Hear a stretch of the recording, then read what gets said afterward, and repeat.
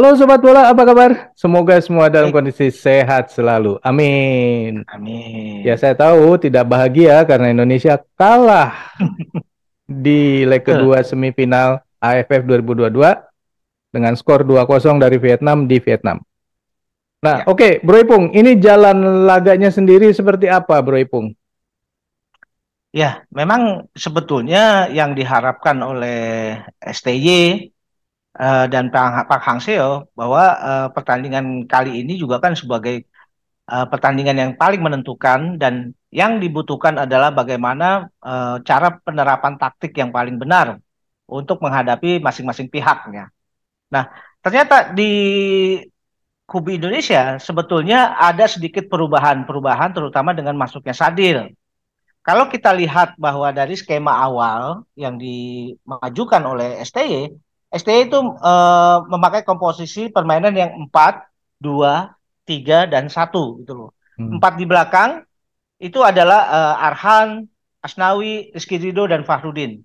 Sementara yang di tengah dengan ketidakhadiran Rahmat Irianto yang digantikan oleh Sadil, maka Jordi Amat ini juga difungsikan sebagai gelandang bertahan berdua dengan Mark Locke. Hmm. Sedangkan yang uh, tiga di depan di uh, uh, te uh, tengah-tengah yang sebagai gelandang-gelandang uh, menyerang itu diharapkan dari Sayuri, kemudian dari uh, uh, Marcelino Ferdinand gitu loh, dan di, di depan ada Dendi Sulistiawan. Dan dengan komposisi seperti ini sebetulnya Indonesia ada dua ini ya, ada dua hal yang ingin dia uh, capai. Pertama, tetap kokoh dalam bertahan, tapi juga lebih punya keleluasaan dalam menyerang. Itu hmm. yang sepertinya diharapkan oleh STY. Dan tampaknya itu tidak seberhasil ketika di leg pertama ya, Bro. Nah, ternyata gini, uh, skema permainan yang dituju uh, oleh STY kemudian dianalisa oleh Pak Hang Seo. Salah satu kesalahan hak, uh, Pak Hang Seo pada laga pertama adalah ketika dia mulai secara intens dan secara berinisiatif untuk mulai melakukan serangan-serangan. Makanya eh, apa pada eh, pertandingan kali ini justru di Vietnam Pak Hang Seo tidak lagi memakai eh, komposisi pemain permainan yang lebih menyerang, tapi hmm. dia juga tetap malah menempatkan lima pemain di belakang. Lima tiga dua itu yang dilakukan oleh eh, apa eh, Pak Hang Seo. Yang tujuannya adalah dia juga tidak ingin terlalu uh, menyerang dengan karena ada kekhawatiran bahwa transisi permainan Indonesia bisa menjadi cepat hmm. yang seperti terjadi pada uh, leg pertama. Hmm. Jadi dia lebih sabar untuk bermain. Bermain uh, ketika dia menguasai bola, dia tidak lagi melakukan tusukan-tusukan uh, langsung direct hmm. gitu ya. Tapi dia ber lebih bermain secara horizontal untuk melihat atau untuk memancing pemain Indonesia keluar dari posnya. Hmm. Gitu loh. Dan sayangnya memang uh, lagi-lagi ya ini adalah sebuah kelalaian saya pikir hmm. bahwa baru di menit kedua Indonesia sudah kebobolan oleh Nguyen Tian Lin. Hmm. Dan sebetulnya kalau kita lihat dari proses uh, terjadinya gol, ini juga kan uh, uh, ini ya saya melihat bahwa ini adalah kecerdikan ya. Hmm. Kecerdikan dari Pak Hang Seo bahwa kalau dia mulai bermain uh, secara ini head to head antara barisan tengah dengan barisan tengah, dengan uh, pada leg pertama bahwa barisan uh, mereka serangan uh, barisan serangan mereka tidak bisa menembus barisan tengah Indonesia. Jadi dia mulai melakukan umpan lambung yang melewati garis pertahanan Indonesia dengan hmm. harapan di situ ada striker-striker yang uh, punya apa tipe sebagai uh, fighter yang untuk berusaha, berusaha merebut bola. Hmm. Memang di situ dia punya Nguyen Tianlin hmm. yang punya kecepatan, punya postur yang bagus, punya fisik yang juga kuat. Hmm. Jadi bola dilambungkan melewati Jordi Amat dan uh, Rizky Ridho. Nah, dengan dengan demikian ada uh, kesempatan buat Nguyen Tianlin untuk fight ngambil bola. Hmm. Di situ dia menang, gitu loh. Hmm. Gol kedua juga serupa ya, Bro? Kalau gol kedua memang ini juga eh, lagi-lagi uh, itu ya saya hmm. juga bingung ya, setiap kali mengawali sebuah babak Indonesia ketika melawan Vietnam kali ini justru kebobolan. Hmm. Itu baru berlangsung dua menit juga pertandingan hmm. babak kedua berlangsung. dan di situ adalah skema uh, permainan set piece melalui tendangan pojok hmm. dan di situ Nguyen Tianlin juga menunjukkan kapasitasnya sebagai monster di udara gitu loh hmm. dia kembali bisa menundukkan di situ ada Rizky Ridho Sadil yang gagal uh, dan telat untuk menutup gerakannya Nguyen Tianlin Jordi Amat yang sudah uh, apa uh, dilewati juga oleh bola lambung pemain uh, sepak pojok tadi. Jadi Nguyen Tianlin kembali bisa menanduk bola gitu bro. Hmm.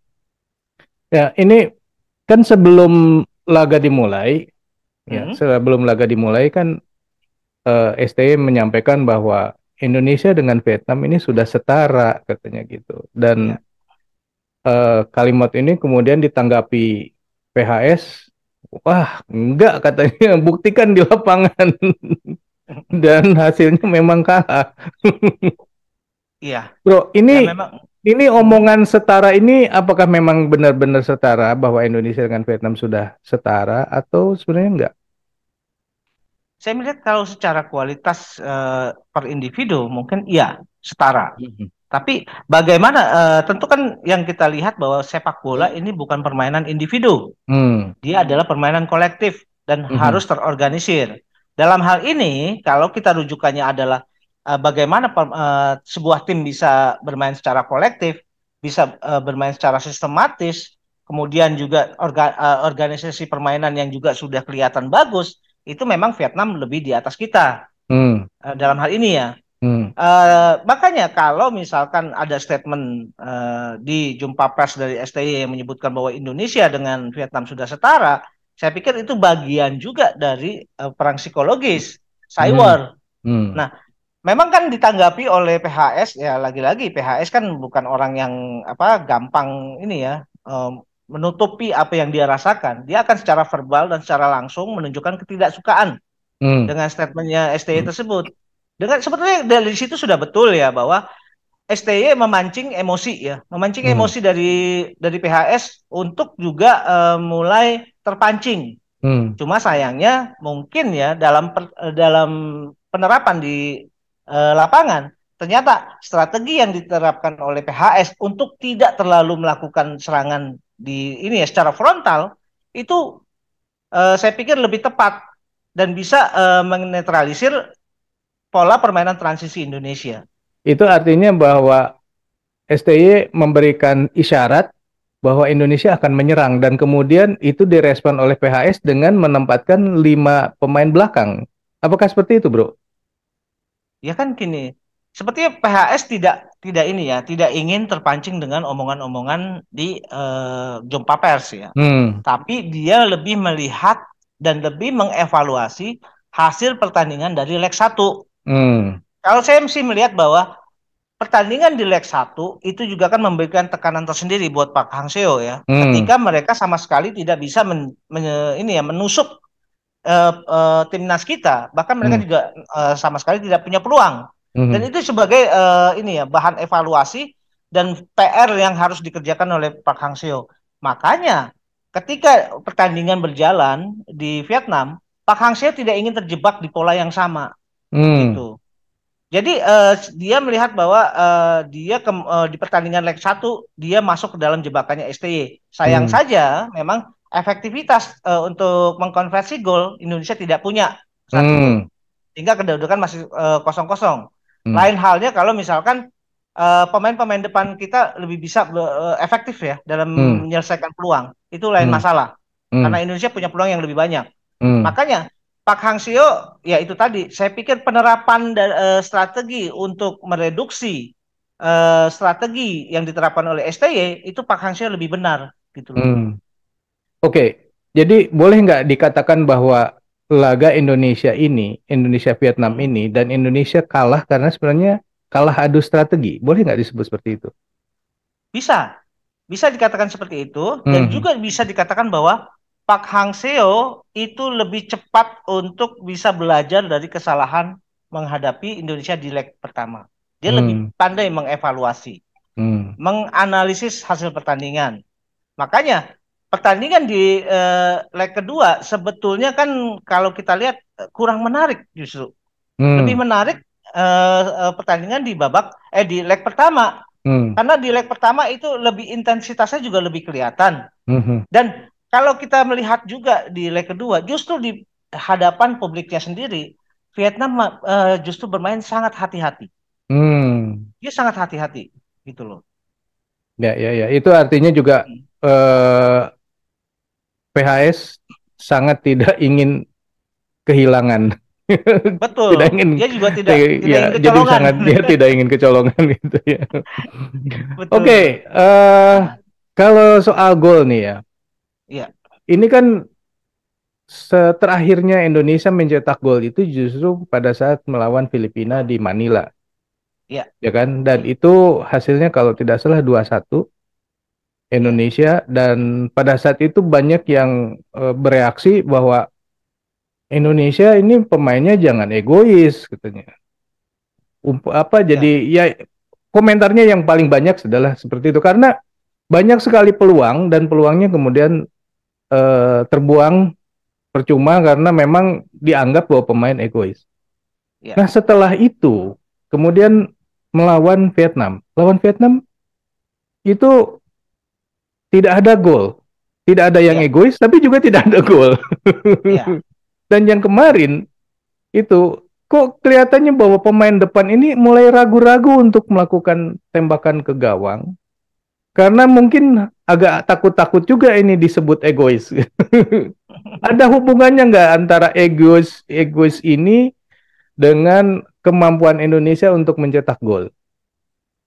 Saya pikir gini, uh, frase mengenai egois itu kan kalau misalkan seorang pemain dalam posisi yang sulit, dia tidak melihat pemain lain yang sebetulnya lebih punya peluang untuk mencetak gol, tapi dia uh, memutuskan untuk uh, mencari jalan yang lebih sulit untuk menciptakan hmm. gol. Itu itu, hmm. itu kan frasenya ya, hmm. yang dikatakan egois. Nah, sedangkan ketika melawan Vietnam, memang ada satu momen ketika Dendi sebetulnya kalau dia berani untuk tembak langsung di depan gawang Vietnam mungkin beda ya, beda cerita ya. Hmm. Kalaupun itu uh, gagal, itu dia tidak akan disebut sebagai egois karena memang dia punya peluang untuk uh, menyelesaikan itu sendiri. Tapi dia hmm. memutuskan hmm. untuk uh, mengcut back bola yang akhirnya bisa dipotong. Hmm. Nah, uh, saya pikir memang uh, mungkin saja Dendi juga agak-agak uh, apa ya, agak terintimidasi. Pertama, Doan Van uh, uh, Dong Van Lam ini kiper yang sangat bagus ya. Dia memang uh, saat itu posisinya sedang berhadapan dengan Dong uh, Dong Van Lam. Hmm. Dia juga takut uh, untuk mengambil keputusan, dia menyelesaikan sendiri, akhirnya batal, akhirnya hmm. gagal. Hmm. Nah, ketika dia memutuskan untuk uh, mengcut back dan meng mengumpan, tapi umpannya juga diserobot oleh pemain Vietnam. Hmm. Jadi itu banyak uh, ini ya, banyak aspek ya yang bisa uh, menentukan pemain apakah dia akan mengambil keputusan menembak sendiri hmm. atau uh, memutuskan untuk mengoper bola. Hmm. Nah, sayangnya dalam pertandingan uh, ketika melawan uh, Vietnam, memang kan hanya itu ya uh, yang terlihat uh, ada keraguan dari Dendi saat memutuskan apakah dia akan menyelesaikan langsung atau dia mengoper. Tapi hmm. begitu di leg kedua, justru pemain Indonesia tidak punya peluang gitu loh. Hmm. Tidak punya peluang untuk uh, katakanlah menusuk pemain-pemain Thailand entah dari tengah maupun dari permainan diagonal dari samping. Mm-hmm. Jadi eh, apa? Saya juga agak-agak ini ya teori mengenai itu juga agak-agak ini ya agak eh, kabur jadinya gitu. Hmm. Ya artinya pemain memang ada satu kesempatan tidak bisa mencetak gol karena ragu-ragu itu, ya kan? Mm-hmm. Tapi selebihnya memang karena tidak ada kesempatannya. Tidak ada kesempatan. Lebih parah sebenarnya. Lebih parah sebetulnya. betul betul betul. Oke, okay, nah yang berikutnya nih catatan hmm. saya itu menyebutkan hmm. bahwa di laga kemarin akhirnya Duan Van Hau itu kena kartu ya. juga ya. Ini oh. apakah karena kejeliannya wasit atau memang eh, jimatnya Van Hau luntur nih sehingga tetap kelihatan semua wasit. Jadi gini, saya begitu saya amati ya Pak Hang Seo dengan Duan Van Hau, itu sepertinya memang Pak Hang Seo menempatkan uh, Duan Van Hau sebagai aktor uh, antagonis ya. Hmm. Bagaimana dia pemain yang paling mungkin bisa uh, memprovokasi pemain lawan yang tujuannya mengubah apa uh, mengacaukan konsentrasi ya mm-hmm. apalagi kalau sudah emosi seperti itu. Mm-hmm. Nah, memang itu sepertinya kejadian pada saat mm-hmm. Asnawi mengambil bola ya, mm-hmm. dan gestur yang diperlihatkan uh, Pak Hang Seo itu kan juga gestur yang memprovokasi sebetulnya, mm. bukan saja memprovokasi uh, apa pemainnya sendiri, tapi juga dia memprovokasi wasit, dia mm-hmm. juga memprovokasi pemain-pemain Vietnam sendiri mm. supaya kalau misalkan terjadi hal yang demikian provokasi terhadap wasit dilakukan dengan cara mengurubungi wasit, tapi hmm. memang dalam koridor-koridor yang masih bisa di, diterima oleh wasit. Hmm. Jangan memaki, jangan mendorong, nah itu. Tapi hmm. cukup dengan uh, memprovokasi dengan mempertanyakan, hmm. gitu loh. Kenapa itu uh, bisa dilakukan? Itu kan sebetulnya uh, tindakan yang salah dan kasar. Itu bisa dilakukan seperti itu, dan hmm. itu hal yang biasa dalam pertandingan sepak bola. Hmm. Nah, cuma masalahnya sepertinya uh, Instagram ya uh, eh, STY yang memention sepertinya memention uh, official pertandingan mengenai perlakuan-perlakuan uh, Duan Van Hau kepada pemain uh, Malaysia maupun kepada pemain Indonesia itu sepertinya nyampe nih hmm. pesan itu hmm. nyampe ke official pertandingan bahwa mereka juga harus mempersiapkan wasit yang benar-benar uh, jeli dalam hal ini hmm. sehingga ketika Duan Van Hau kemudian melakukan tindakan ke, uh, yang menjurus kasar, hmm. tidak ada kata lain, dia juga harus memberikan kartu kepada hmm. Duan Van Hau. Dan hmm. ternyata saya juga ada ada ini ya, uh, mungkin kecurigaan saya beralasan. Begitu Duan Van Hau mendapatkan kartu, dia langsung mendekati Pak Hang Seo. Hmm. Sepertinya Pak Hang Seo memberikan hmm. wejangan lah. Hmm. Katakanlah wejangan, ya udah cukup provokasi sampai di situ. Karena hmm. kalau kamu memprovokasi lagi, kamu bisa dapat kartu merah. Itu bisa hmm. aja dilakukan. Hmm. Jadi strategi strategi-strategi untuk memprovokasi permainan pemain lawan dengan tujuan mengacaukan konsentrasi itu adalah hal yang biasa di uh, pertandingan sepak bola. Hmm. Dan kelihatannya Vietnam paling jago nih ya. Ya. Di Asia betul. Tenggara. Betul.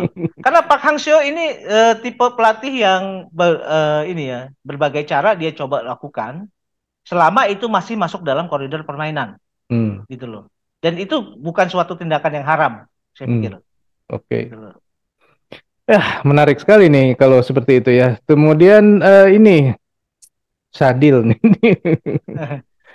Sadil dimainkan nih kok maaf ya kesannya bukan bermain bola tapi kok kayak mau mencederai lawan apa pandangan saya salah atau gimana nih bro Enggak, saya pikir bukan seperti itu ya. Hmm. Jadi memang ada strategi kombinasi strategi yang dilakukan oleh STY. Hmm. Ketika dia melihat bahwa ada keberhasilan uh, ketika kita di leg pertama menahan serangan-serangan Vietnam dan mulai bermain transisi. Hmm. Dengan dengan uh, transisinya juga cukup bagus dengan menciptakan berbagai peluang. Hmm. Makanya ketika Rahmat Irianto juga uh, tidak masuk dalam starting line up dia memasukkan Sadil, saya pikir itu uh, sangat beralasan ya. Mm-hmm. Mengingat bahwa kemungkinan pola yang sama akan dilakukan oleh mm-hmm. STY dengan uh, apa ya pola permainan transisi cepat.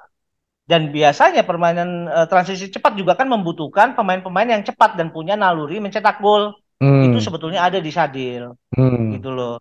Makanya Sadil ditempatkan di situ dengan uh, dengan tujuan utama bagaimana memanfaatkan transisi permainan ketika permainan dari uh, transisi negatif ke positif gitu loh. Hmm, hmm. Nah, cuma sayangnya ya tadi saya katakan bahwa Pak Hang Seo sudah sudah ini ya sudah belajar dari leg pertama. Dia tidak lagi uh, secara frontal melakukan serangan-serangan kan hmm. dengan dengan konsekuensi dia akan mendapatkan mendapatkan transisi permainan yang justru akan uh, mengacaukan permainannya sendiri. Hmm. Jadi dia lebih banyak menahan, menahan hmm. diri permainan hmm. uh, apa uh, Vietnam. Vietnam tidak lagi uh, dan Vietnam punya kesabaran untuk melakukan membangun serangan uh, serangan ke, ke tim Indonesia ya hmm. dengan melakukan umpan-umpan yang lebih banyak ke uh, permainan horizontal.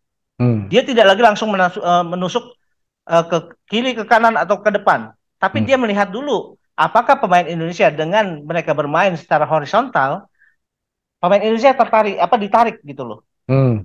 Untuk uh, apa uh, untuk uh, keluar dari posnya dan itu yang terjadi, bro. Hmm. Nah, memang uh, dalam hal ini saya juga uh, ini ya uh, agak uh, mungkin saya punya analisa yang berbeda ya. Uh, kalau kita ya dalam posisi tertinggal dari sejak babak pertama dan kalaupun kita kalah dengan angka yang berapapun, tetap aja kita kalah. gitu. Hmm. Hmm. Apakah nggak sebaiknya ya Pak begitu memasuki babak kedua hmm. sudahlah kita masukkan aja pemain-pemain yang menyerang. Hmm. Masukkan Witan. Masukkan lagi uh, Egi hmm. gitu loh. Ibaratnya ya, udah tanggung kalah gitu ya. Kita cari kesempatan. Iya, hmm. iya betul. Nah, cuma sayang uh, uh, saya juga nggak tahu apa yang ada di di pikirannya STY untuk tetap untuk uh, mempertahankan formasi yang itu. Hmm. Walaupun dia juga kemudian melakukan pergantian uh, memasukkan Witan dan Spaso, tapi itu saya pikir waktunya juga agak kurang ini ya, kurang banyak. Hmm. Dan kan yang dibutuhkan pemain adalah bagaimana mereka bisa beradaptasi dengan permainan dan uh, permainan yang ada dengan hmm. dengan hmm. kondisi-kondisi yang di lapangan. Hmm. Kalau proses adaptasi dia, proses dia eh, belajar berorientasi dengan pertandingan itu juga tidak tidak apa uh, tidak tidak cukup waktu, hmm. itu juga kan akan menyulitkan yeah. gitu loh untuk yeah. pemain. Oke, okay. okay, jadi ini sebenarnya kalau pertanyaan terakhir tadi kan saya sebenarnya pengennya adalah ini kekalahan karena kualitas perbedaan kualitas pemain atau karena kalah strategi, tapi kita udah jawab semua ya itu tadi. Iya. Oke, pertanyaan terakhir, Bro. Ya. Ini setelah Indonesia eh, tahun ini berhenti menjadi spesialis runner up ya. Bukan karena ya. jadi juara, tapi karena tidak masuk ke final. Kira-kira seperti apa nasib STI berikutnya, Bro? Ya gini, kita toh uh, juga melihat perkembangan-perkembangan yang bagus dari kehadiran STY ya. Artinya animo pemain uh, juga berubah, kemudian mindset pemain juga berubah, apalagi STY juga bisa menunjukkan hasil antaranya kita bisa uh, masuk apa kuali apa Piala Asia mm-hmm. di tingkat senior dan U20. Mm-hmm. Apa kemudian STY juga kan dalam kontraknya itu salah satunya adalah mempersiapkan squad Indonesia untuk Piala Dunia Under 20 mm-hmm. dulu yang akan mm-hmm. dilakukan di Jakarta. Mm-hmm. Karena STY sendiri uh, kontraknya masih uh, di Desember 2023. Mm-hmm. Jadi saya pikir tidak ada salahnya dan ini bukan momentum yang tepat katakanlah untuk mempertanyakan mm. dan uh, mempertanyakan mengenai posisi STY. Mm. Karena dia masih punya segudang tugas, segudang tanggung jawab yang dia harus uh, emban gitu loh harus hmm. dia tunaikan katakanlah gitu ya. Hmm. Hmm. Karena kalau misalkan uh, kemudian terjadi uh, semacam uh, woro-woro ya mengenai apakah STI harus diganti dan segala macam, hmm. ini juga kan akan merubah fokus kita nih jadinya. Hmm. Karena apa yang sudah dibangun STY juga kan prosesnya panjang, hmm. tidak uh, tidak seketika gitu loh. Hmm. Makanya proses yang sudah dijalankan silakan dilang saya pikir dilanjutkan saja gitu loh. Hmm. Nah, masalah nanti di tahun 2023 apakah akan ada evaluasi uh, dan uh, wacana mengenai penggantian ST ya silakan saja kita lihat pada hasilnya nanti. Gitu. Ya, ya. Jadi sebaiknya kita tuntaskan dulu uh, kontraknya dulu. dengan STY nanti baru setelah itu dievaluasi. Oke. Okay. Siap. Oke. Okay. Nah, satu lagi nih jadinya keingetan. Ini kira-kira apa nih untuk memperbaiki timnas Indonesia ke depan nih? Apakah liganya harus dibenerin dulu atau seperti apa, Bro? Iya. Memang kalau uh, kita bicara timnas, kita juga kan bicara mengenai uh, liga ya. Hmm. Pastinya liga ini yang harus berbenah gitu loh. Hmm. Nah, uh, karena dengan liga yang sehat, liga yang kompetitif, liga yang sportif itu juga kan diharapkan ya uh, memberikan kontribusi juga buat perkembangan sepak bola nasional nanti gitu loh. Hmm, hmm. Ya, ya terutama kebutuhan striker striker yang handal ah, ini yang belum ada ya. Apa betul, perlu betul. kita nyomot lagi striker dari luar nih untuk masukin ke Indonesia nih ya. Oke sobat bola itulah obrolan kita mengenai uh, laga Indonesia melawan Vietnam di leg kedua di Vietnam yang berakhir Indonesia kalah 2-0 dari Vietnam. Menurut sobat sendiri, apa yang harus dilakukan kemudian untuk Indonesia untuk mendapatkan timnas yang lebih kuat lagi? Silakan tulis di kolom komentar. Kita hari dulu obrolan kita kali ini kita lanjut di video yang akan datang. Sampai jumpa. Bye. Thank you, bro.